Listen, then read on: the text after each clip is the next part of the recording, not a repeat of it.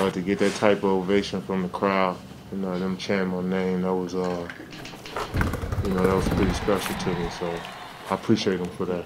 Joe Johnson brought Boston Celtics fans to their feet on Wednesday night as they faced off against the Cleveland Cavaliers. And even though it's been nearly 20 years since he last played for the Celtics, he was met with a warm welcome when he hit a fadeaway jumper to help push the Celtics to a 111 to 101 victory. Now, the Celtics didn't take their foot off the gas in the fourth quarter, and Rob Williams proved to be the spark that the Celtics needed, finishing with a total of 21 points and 11 rebounds to log a double-double. To have 21, 11, and 7, you know, some of the passes he made is, you know, what we want to see from him going forward. And so um, he was huge. Obviously, numbers show it, but his impact in other ways as well. It was exciting. It was fun uh, to get that type of ovation from the crowd. You know, them chanting my name. That was, uh, you know, that was pretty special to me. So I appreciate him for that.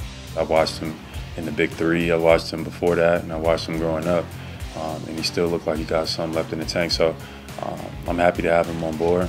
You know, to hear his voice, his uh, his advice, and stuff like that as I'm maneuvering through the year, as our team is kind of maneuvering. Um, I think is great. The Celtics will now head out on the road for a two-game road trip, and up next they'll face off against the Milwaukee Bucks for a Christmas Day showdown. Happy holidays, everyone. I'm Amanda Pflugrad.